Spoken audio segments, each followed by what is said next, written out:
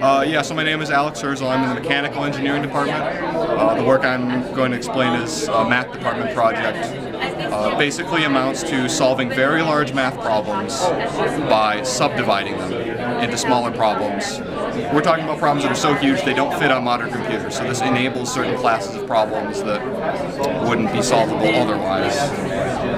Applications are very wide and varied, weather prediction, finite element analysis, all kinds of other engineering buzzwords that um, would be widely uh, applicable to everyone's cell phones, all their daily life type activities.